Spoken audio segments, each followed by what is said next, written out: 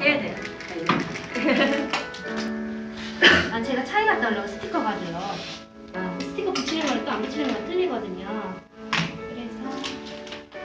그래서 이렇게 하는 게 제일 깔끔한 것 같아요. 이렇게 안 하면 좀더 포장이.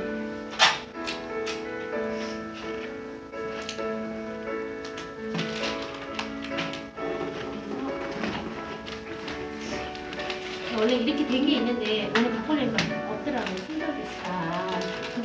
그냥 넣어서 만들고. 네, 그거 팩트리 있어가지고 하면 되는데 오늘 수업이 가장 집중하시는 시간 같아요. 원래 다 집중하시는 시선이요. 떨어질 것 같아요.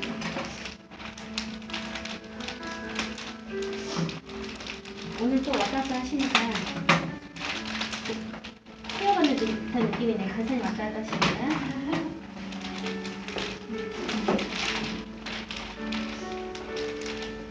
짧은 시간에도 이렇게 랩핑을 해줘야 꽃이 절대 상하지 않거든요. 이게 다 a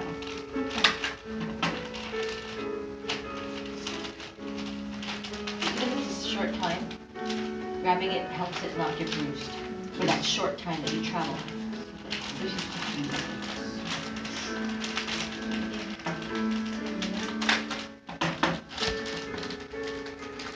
그래서 이거 무슨 하고 계시면 에어가 좀 들어가면 좋아요. 하고 계시면 제가 스티커 갖고 올게요. demonstration 보조 강사 보조 뒤 뒤에 뒤에 하하.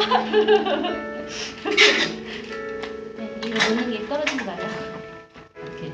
이렇게 해서 펄스 하는 거예요. 이렇게 해서 음, 이렇게 해서 이렇게 펄스 잡으시면 돼요.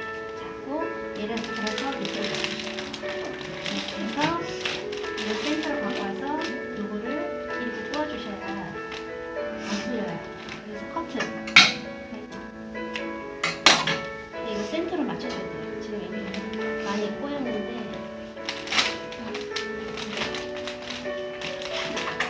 이렇게 해서 지금 이거 많이 꼬였어요. 이거 잘못됐는데